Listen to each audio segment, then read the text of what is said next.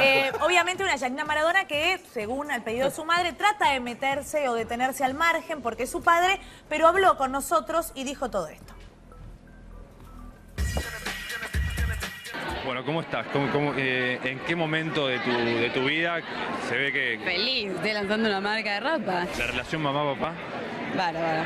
Ya está como todo bastante calmado, es más lo que quieren que se diga y todo eso que lo que pasa realmente adentro. El papá se operó, salió todo bárbaro, mi mamá. Ya está, ya lo superó, por suerte ahora tiene tres meses de líquido, si es como la vez pasada o menos, pero ya está bien y se viaja a Dubái de nuevo. Entonces la relación con papá está bien. Y con mamá también está en mi casa cuidando a Benja. Me ayuda bastante porque ahora con todo esto de que yo Estás ocupada. Sí, bastante, no lo delego porque intento hacer todo yo con Benja, así que si me cubre alguien es mi mamá o mi hermana. ¿Tu mamá cómo está con esta situación? Con este reclamo. No, bien, la verdad que al principio un poco sorprendida, dolida, pero ya bien. ¿Cómo te imaginás vos que, que esto va a terminar si es que tiene un fin?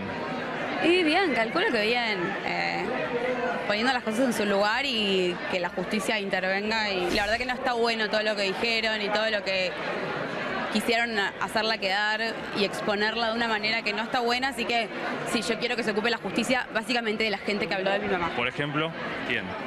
El abogado de mi papá. Si te digo Stinfale, Víctor Stinfale, o si ¿Es te digo abogado? Matías Morla.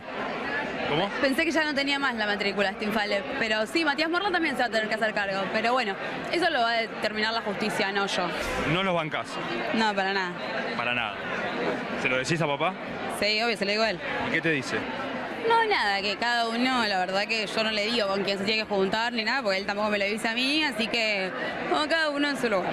El casamiento, si te digo Rocío Oliva, Que hagan lo que quieran, cada uno es dueño de su vida y de hacer lo que quiere. ¿irías al casamiento? Obvio, es mi viejo, ¿cómo no?